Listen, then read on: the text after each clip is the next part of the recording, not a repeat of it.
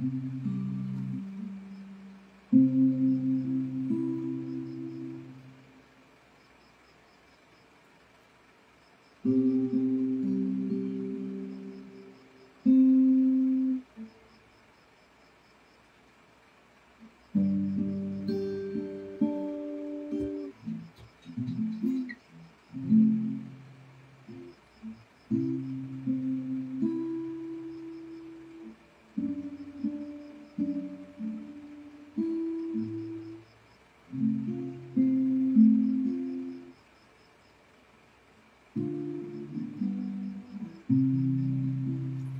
Purihin po ang ating Panginoon.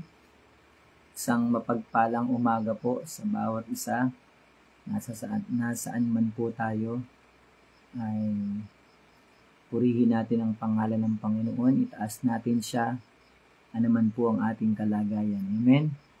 Kaya ano man po ang ating kinalalagyan sa oras na ito, nasan man po tayo ngayon, walhatiin natin ang pangalan ng Panginoon sapagkat siya po ay napakabuti.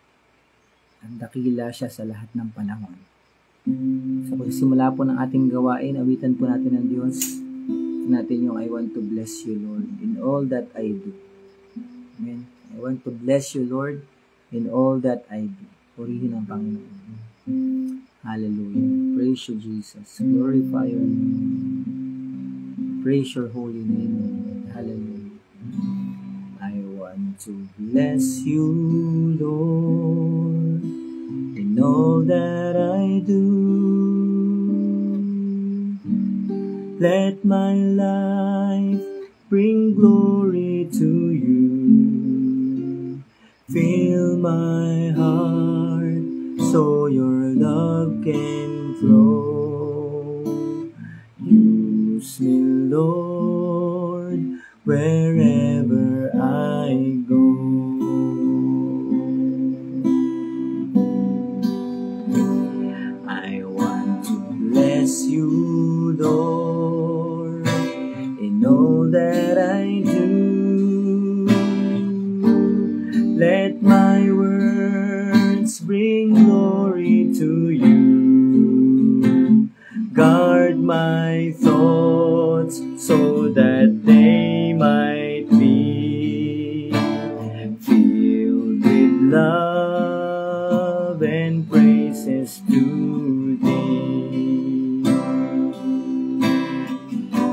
bless you, Lord.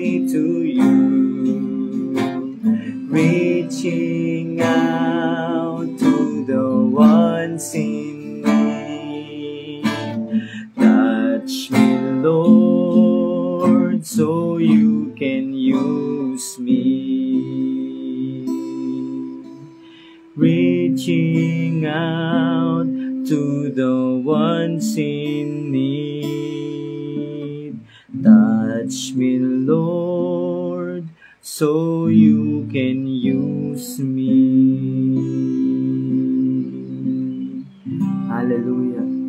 Hallelujah. Hallelujah. Praise you, Lord Jesus. Purihin po kayo, aming Panginoon. Pinagpapala namin, Panginoon. Iluluwalhati namin ang inyong pangalan. Tulad ng aming inawit, O Diyos, we want to bless you, Lord, in all that we do, in everything that we are in, sa lahat ng nararanasan namin, we want to bless your name, Panginoon. Sa lahat ng dumarating sa amin, sa lahat ng mga bagay na nararanasan namin, Nais namin parangalan. Nais namin purihin ang inyong pangalan, Panginoon. Hallelujah. Salamat po sa inyo ngayong umaga. Salamat sa ibang sa isang bagong kalakasan binigay niyo sa amin upang kami ay uh, makabangon, makapagpuri, makapag-aral ng inyong mga salita at makita, Panginoon, minsan pang inyong kabutihan sa araw na ito.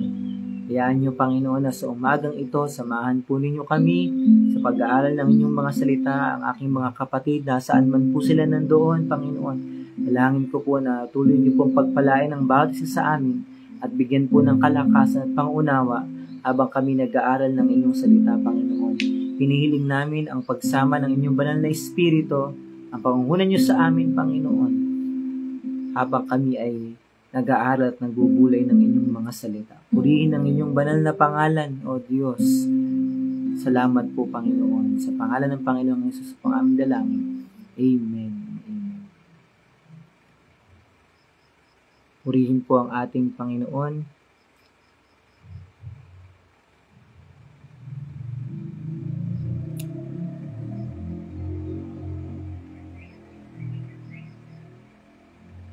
Salamat po sa ating Diyos. Naririnig naman po ako ng maayos, ano po?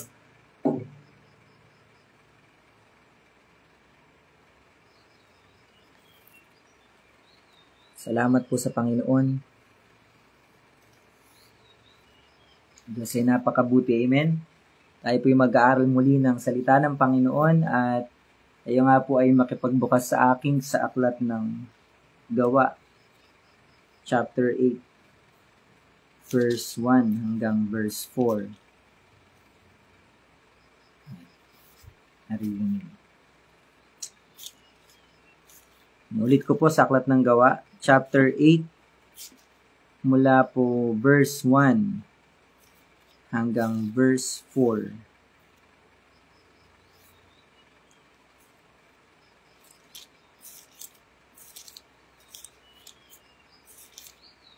Praise God.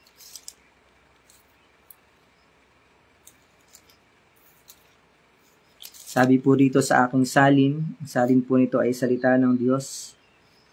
Gawa chapter 8, mula po verse 1 hanggang verse 4. Nilibing si Esteban ng mga taong may takot sa Diyos at labis nila siyang iniyakan.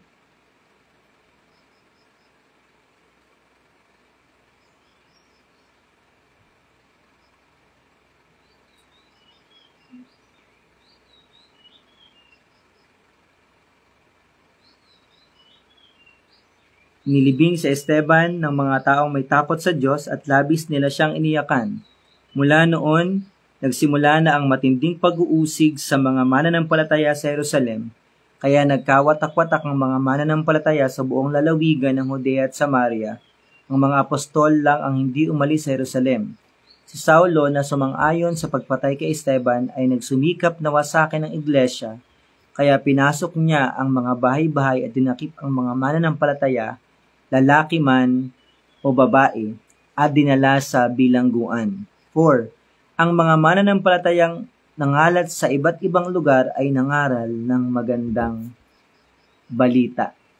Purihin ang pangalan ng Panginoon. Sabi po dito sa sa English naman po sa verse 4, but the believers were who were scattered preached the good news about Jesus wherever they went purihin ang pagkabasa ng salita ng Panginoon. Ang pag-uusapan po natin sa umagang ito ay seeing good things in persecution. Amen? Seeing good things in persecution.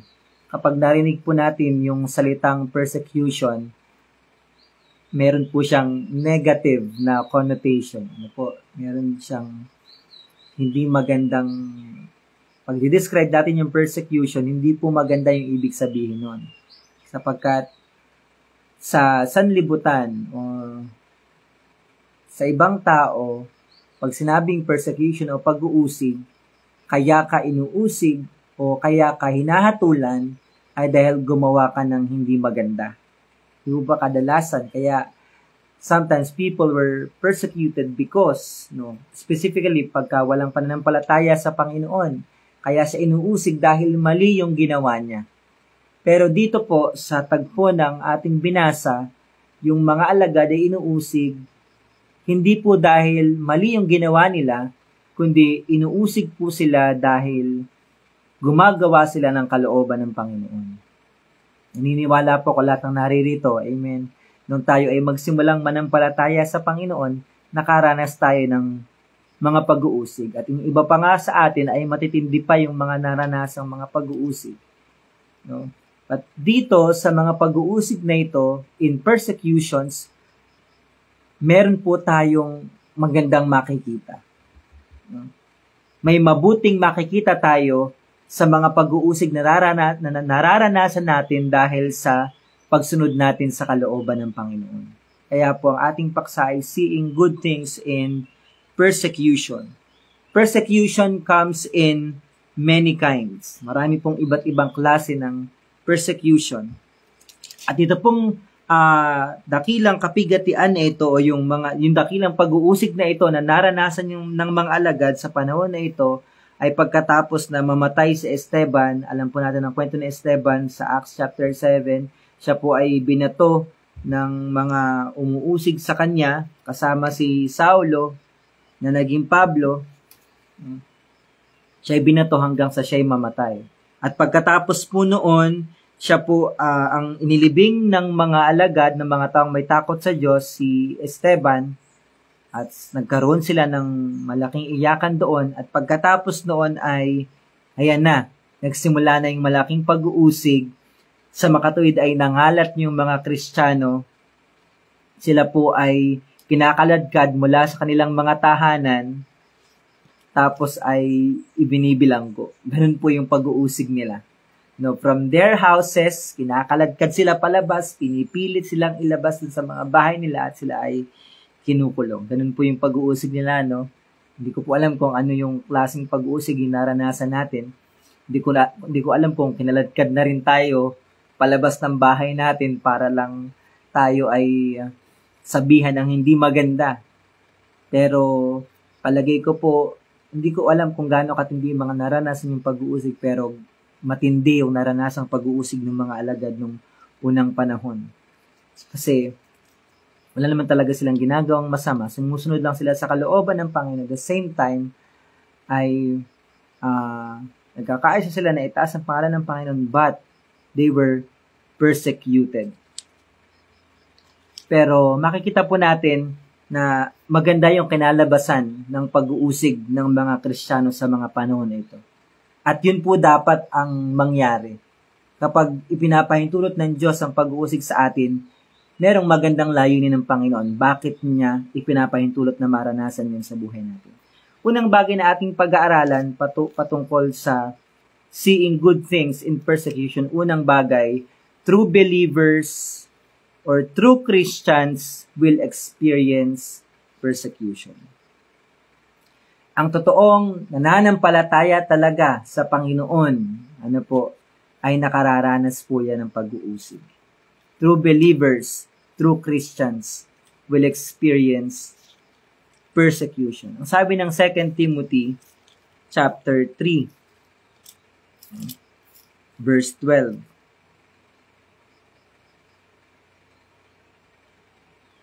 Ang totoo, sabi po rito, ang totoo, lahat ng nagdanais mamuhay ng matuwid bilang tagasunod ni Kristo ay daranas ng pag-uusig. Ano, sabi po ng Bible, ang totoo, lahat ng nagdanais mamuhay ng matuwid bilang tagasunod ni Jesus, ni Kristo Jesus ay daranas ng pag-uusig. Kaya wag po tayong magtaka kung tayo ay dumaranas ng pag-uusig. Ibig sabihin nun, totoo tayong namumuhay ng matuwid kay Kristo Jesus. Kasi yung mga namumuhay ng matuwid lang, yun lamang yung inuusig. Kasi nga po, ang sabi ng John, basahin ko lang po itong isa pang talatang ito, John 15 verse 18.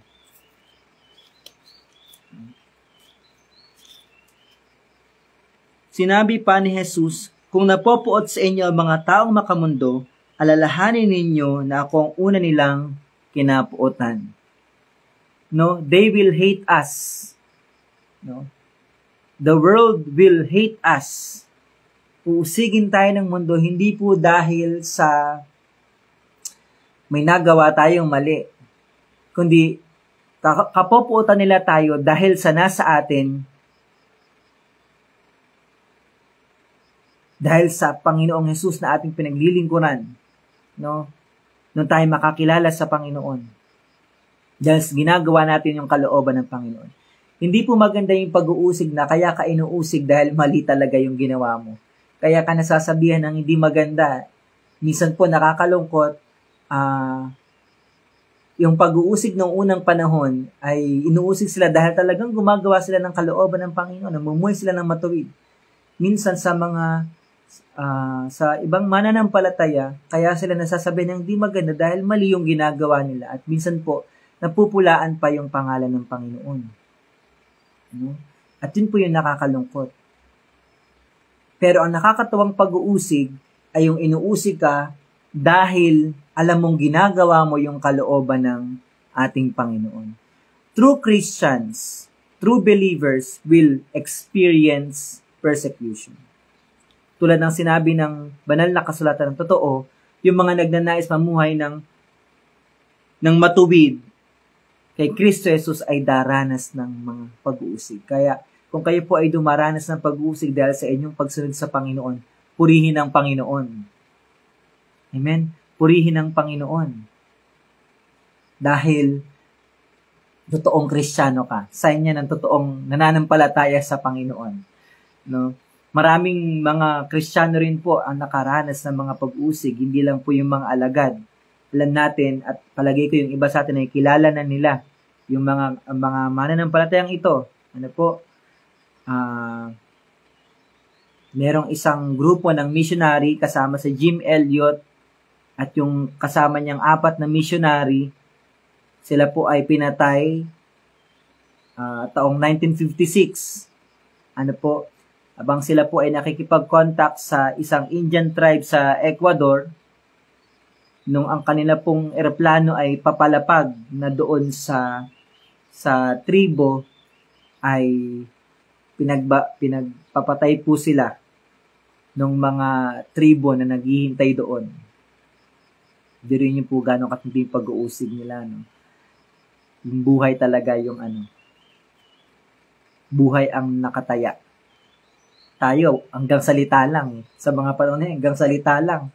O minsan yung iba sa atin dinedemanda. No? Pero nung mga panahon nila, buhay po yung naka ano sa kanila, buhay yung naka nakalaan dahil po sa pag-uusig para lang po masunod nila ang kalooban ng Panginoon. Bakit po kailangang maranasan ito ng mga tao, mga nananampalataya, ang totoo, ang nais talagang mamuhay ng matuwid kay Kristo ay daranas ng pag-uusig. Kaya kung kayo inuusig ngayon dahil sa inyong pagsunod sa Panginoon, purihin ang Panginoon. Amen? Pangalawang makikita po natin dito po sa Balik po tayo sa Acts. Sabi po dito sa Acts chapter 8 verse 2 uh, verse 3 But Saul was going everywhere to destroy the church He went from house to house, dragging out both men and women to throw them into prison. 4. But the believers who were scattered preached the good news about Jesus wherever they went. Pangalawang pong bagay na makikita po natin, because of the persecution, the purpose of God for them is fulfilled. Dahil sa pag-uusig, yung layunin ng Diyos sa kanila ay natupad. Because of the persecution, the purpose of God for them is fulfilled. Ang sabi ng Acts chapter 1 verse 8 kung ating babalikan, no? at kayo ay ah, hintayin niyo ang kapangyarihan galing sa taas, na masangkapan kayo ng kapangyarihan galing sa itaas at kayo ay magiging mga saksi ko sa, sa Judea, sa Samaria, ah, sa Jerusalem, sa Judea, Samaria, hanggang sa kaduluduluhan ng daigdig. Dito po sa Acts chapter 8, verse 3 and verse 4, alam niyo po, yung sinabi ng Panginoon sa chapter 1, verse 8, ay natupad na sa kanila. Naging mga saksi nga po sila ng Panginoon dahil po doon sa pag-uusig na naranasan nila, ang sabi po doon sa ating binasa, no? Uh, ulitin ko po, a great wave, verse 1, 2, a great wave of persecution began that day, sweeping over the church in Jerusalem, and all the believers except the apostles were scattered through the regions of Judea and Samaria. No? yung binabanggit sa Acts chapter 1 verse 8 ay narito na nga po sa 8 verse 1 and 2 na gagawin silang mga saksi ng Panginoon, they will be God's witnesses in Judea and in Samaria. Dahil po sa persecution na ito, natupad yung layunin ng Panginoon. Kaya po itong itong pag-uusig na ito, hindi po ito nasayang sa buhay ng mga alagad.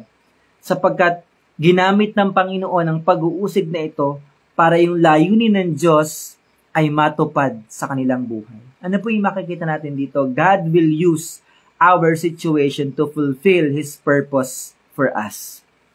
Gagamitin ng Panginoon yung sitwasyon natin, no? Although yung ilang sitwasyon natin ay mahirap, but gagamitin ng Diyos ang mahirap na sitwasyon na ito para matupad po niya yung layunin niya sa buhay natin. Sometimes, God's purposes are fulfilled in difficult situations and even in persecutions.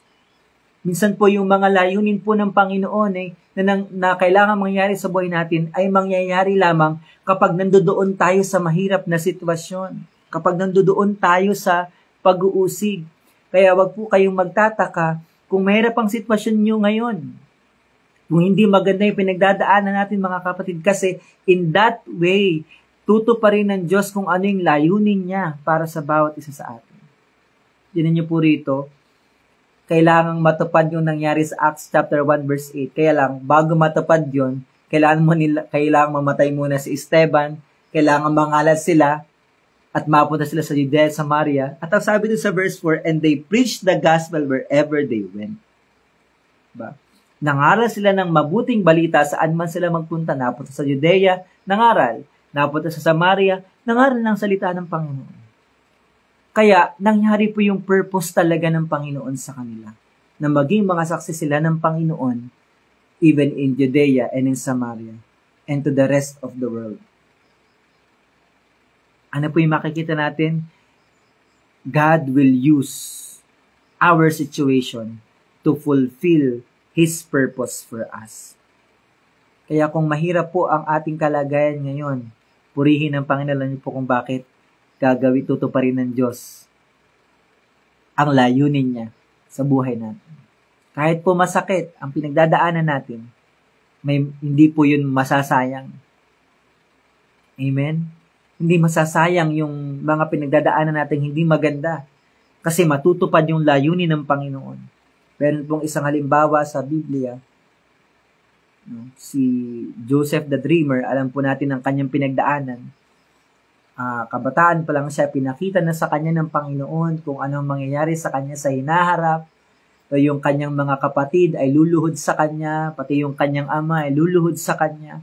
Pero bago po niya marating yung ganong estado ng buhay, alam po nangyari? Ibininta siya ng kanyang mga kapatid, no? Pinalabas na patay sa harapan ng kanyang ama, napunta sa Ehipto, naging alipin muna ng ng isang merchant. Pagkatapos ay kung ano, nakakulong pa siya dahil pinagbintangan siyang uh, ng rape dun sa asawa ng kanyang tinutuluyan, no? Ang dami pa pong nangyari sa kanya. Pero lahat nung nangyari na yun kay Jose, kay Joseph the Dreamer, lahat ng yun ay pinahintulot ng Panginoon. Bakit po? Para matupad yung layunin ng Panginoon sa kanya, yung pinakita sa kanya ng Panginoon, kabataan pa lang siya na ang kanyang mga kapatid ay luluhod sa kanyang harapan. Kaya nung magkaroon ng mal- ma- malaking tagutom, si Joseph the Dreamer ay ginawang uh, gobernador ng Ehipto at siya po'y namamahala sa pamamahagi ng mga pagkain. At hanggang yung mga kapatid niya ay nagpunta sa Ehipto para bumili sa kanya ng pagkain. Pero hindi po nangyari yon hanggat hindi mo na naranasan ni Joseph yung siya ay maipagbenta, yung siya ay makulong. Bakit po? Nangyari yung lahat ng mga bagay na yon para matupad talaga yung layunin ng Panginoon. Kaya po kung may nangyayari sa atin ngayon na hindi magagandang bagay mga kapatid, that is God's way of fulfilling His purpose for you. Yan ang paraan ng Diyos para matupad niya yung layunin niya sa buhay natin, sa buhay ng bawat isa sa atin. Si Moises, di po ba, nung tawagin siya ng Panginoon, ano nangyari? Nakapatay muna siya ng isang Egyptio. Diba? Kaya, kaya siya nagtatakbo. No? Nung mapatay niya isang Egyptio, na, uh, na, may nakakita sa kanya na nakapatay siya. No? Kaya natakot siya para sa buhay niya. Ang ginawa siya, nagtatakbo siya, no? Um, umalis siya, doon sa Ehipsyo, napunta siya sa ibang lugar hanggang sa uh, napunta siya doon sa sa sa lugar ng kanyang mapapangasawa hanggang sa tinawag siya ng Panginoon doon sa bundok ng Sinai. Di po ba? Bagamat hindi maganda yung nangyari sa simula, but because of those situations, God's purposes were fulfilled in their lives. Kaya alam nyo mga kapatid, yung mga pag-uusig na yan, ginagamit ng Panginoon yan para matupad niya yung layunin niya para sa bawat isa atin. Na sa pamamagitan ng pag-uusig, maihayag natin ang mga salita ng Panginoon. Dun sa verse 4, anong sabi sa pangatlo? Sabi doon, But the believers who were scattered preached the good news about Jesus wherever they went. Ano yung magandang bagay dito? The gospel was preached wherever they went. Yun po yung maganda. That is one good thing in persecution. Ano yung makikita natin pangatlo? The gospel was preached everywhere they went. Ang salita ng Diyos ay naipapangaral. At yun po yung pinakamaganda. Amen? Na mangyari sa buhay ng bawat sa atin na because of our lives, dahil sa buhay natin na yung salita ng Panginoon ay nahayag yun po talaga ang gusto nating mangyari. At sometimes, para mahayag yung salita ng Diyos, kailangan muna nating makaranas ng mga pag-uusig. Yung mga alagad, ang nakakatawa sa kanila, inusig na po sila, kilaladkad na sila palabas, kailangan na tumakbo para sa buhay nila. Pero saan man po sila magpunta, ang pangangaral ng salita ng Diyos ay palagi nilang ginagawa. At yun po ang gusto ng Panginoon. Gusto po ng Panginoon na maipaalam sa lahat ang kanyang mga salita. Ayaw po ng Diyos na magkaroon, tayo, magkaroon lang tayo ng kakaunting kaalaman tungkol sa Kanya. Ang gusto ng Diyos ay magkaroon tayo ng isang malawak at malalim na kaalaman sa Kanya. At magkakaroon lamang tayo ng ganong klase ng kaalaman kung yung salita po niya ay mahayag. He wants us to know or to have the knowledge of Him. Nais ng Panginoon na yung kaalaman tungkol sa Kanya ay malaman ng marami. Hindi lang malaman ng ilang leaders lang o ng mga members ng church lang. Nais ng Panginoon na yung kaalaman tungkol sa Kanya ay malaman ng lahat. At para malaman ng lahat yon kailangan magkaroon ng pag-uusig. Diba? Ah, na, napangaral ngayon ang salita ng Panginoon. Kaya po, bilang panghuli, yun po yung isang magandang bagay kapag inuusig tayo. Saan man tayo nagpupunta at ano man ang nangyayari sa atin, itinataas natin ang pangalan ng Panginoon, ipinapangaral natin ang kanyang mga salita. At yun naman po yung mahalaga, yung mapangaral ang salita ng Panginoon. Yung mahayag at makilala ang Panginoon sa buhay natin kahit na pumasaktan tayo, basta makilala ang Panginoon, okay lang po yun. Amen po ba? Amen. Huwag po tayong matakot masaktan. Ang mahalaga, makilala ang pangalan ng Panginoon. Kahit pa yung ating pangangaralan ay sasabihin tayo ng hindi maganda, ang mahalaga, masabi natin ang tungkol sa Diyos kasi nung gusto ng Panginoon. At dahil po doon, napaparangalan ang Panginoon sa buhay natin. Kaya the ultimate purpose of God is fulfilled when the gospel of Jesus Christ is preached to all. Ano yung pinakang ultimate purpose? That the gospel was preached to all nations. Amen. Matthew 28. Basahin niyo na po. Matthew 28, 19 to 20. Our great commission. Kaya po yung awing ating sitwasyon, ang mga pagsubok natin, mga pag-uusig natin, magagamit ng Panginoon yan para maipangaral yung kanyang mga salita at para matupad yung layunin ng Panginoon. Kaya wag po nating sayangin ang opportunity na tayo inuusig. Sige lang, keep it coming. Amen. Sige kung usigin niyo ako, sige. Sabi nga nung isang kanta, you can talk about me, say what you wanna say, you can stand around, you can stand around wasting your time, I'm gonna keep on working for Jesus every day of my life. Amen? Keep on working for Jesus naman ang nangyayari, patuloy nating ipahayag ang pangalan ng Panginoon and let God be blessed in our lives and in our situation. Kaya, hamon ko sa bawat sa atin, anuman ang kalagayan nyo ngayon, para ngala natin ang Panginoon sa buhay ng bawat isa sa atin at mapangaral ang salita ng Diyos sa lahat. Purihin ng Panginoon. Tayo ay manalang, Hallelujah. We praise you, Lord. Salamat po sa inyo. Ama, hindi kami nagrereklamo sa mga sitwasyon na meron kami ngayon. Hindi kami nagrereklamo kung kami ay inuusig sa mga oras na ito o kung mahirap man ang pinagdadaanan namin. Kundi nagpapasalamat kami sa anumang sitwasyon ng meron kami ngayon sapagkat sa pamamagitan ng sitwasyon namin, Lord, mapapangaral po kayo mahayag po ang pangalan nyo sa marami. At sa pamamagitan ng sitwasyon na nararanasan namin nga, ngayon, Panginoon, ay matutupad ang mga purposes nyo sa buhay namin. Maraming salamat po. Tama po yung sinabi ng inyong mga salita, all things work together for good. Mabuti man o masama ang nangyayari sa amin, it is all working together for good, Panginoon. Sapagkat sa mamamagitan ng mga bagay na ito, your name will be declared and your name will be glorified. Panginoon, pagpalaan niyo po ang aking mga kapatid na nandirito. Alam niyo po ang lahat ng kanilang mga pinagdadaanan. At dalangin ko po na bigyan niyo sila ng kalakasan, tulungan niyo silang tumayo, tulungan niyo silang tumibay, at magkaroon ng kagalakan sa kabila ng kanilang pinagdadaanan, Panginoon, sapagkat naniniwala sila, Panginoon, na sa pamamagitan ng ganitong sitwasyon nila, mahayag po ang pangalan nyo at magaganap ang layunin nyo para sa kanila. Pagpalaan nyo po ang bawat isa sa amin, pagpalaan nyo po ang inyong mga salita, pagpalaan nyo po ang mga pastor na nangunguna sa amin, pagpalaan nyo po ang aming General Superintendent, ang Pastor Joseph Masaredo, tuloy nyong gabayan ang kanyang uh, buhay, Panginoon, at pagpalaan niyo po sa lahat ng aspeto, sa lahat ng kanyang mga ginagawa. Pero din ang lahat ng district supervisors mula District 1 hanggang District 9, Panginoon. Bless them, O Lord at sumagana ang inyong biyaya at kapangyarihan sa kanilang buhay kasama ng kanilang mga ministeryo. Salamat po, Panginoon. Sa inyo po ang lahat ng papuri at pasasalamat sa pangalan ni Jesus. Amen. Amen. Purihin ang Panginoon. To God be the glory. God bless us all po.